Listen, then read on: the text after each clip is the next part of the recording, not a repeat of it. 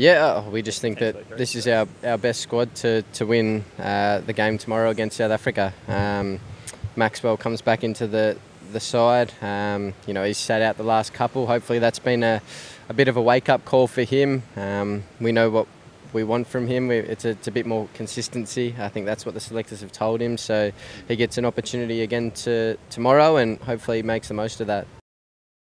I had a, a word to him the other day just about, I think, clearing your mind. Um, and, and, going out there and just playing good cricket shots. Um, I think we've seen Maxi when he's at his best, and I think he, he's actually not thinking too much. So it was just, I guess, reinforcing those messages. Uh, I watched him bat pretty closely in the nets yesterday, and I thought he played particularly well, uh, particularly against the fast bowlers. Um, so hopefully he's continuing to learn, and um, yeah, hopefully he'll be able to, to get in amongst the runs in the next couple of games.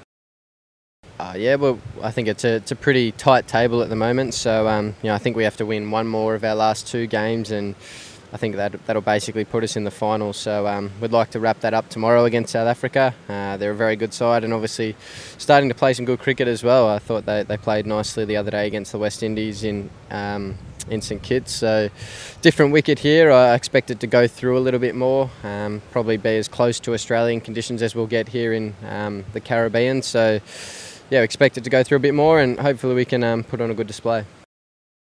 I'd actually quite like it if they played three spinners on, on this wicket. I, I don't think it'll spin as much as the other wickets have. Uh, I think it'll be pretty evenly paced and have a bit more bounce and, and carry. So um, they can play three spinners if they like. I think that'll um, that'll play into our hands quite nicely. Yeah, it's still a fair way away, Sri Lanka. So um, you know, I think it's it's about five weeks until the first Test match there, so it's still a, fair way off. Um, I don't like to think too far ahead. Um, sort of focus on, on each day as it comes, and you know, the, the body's been pretty good. Obviously, the, this this slight quad strain isn't ideal, but I think it'll be manageable. And um, yeah, I'll, I'll, go through my paces today at training, and, and hopefully it'll be okay for tomorrow.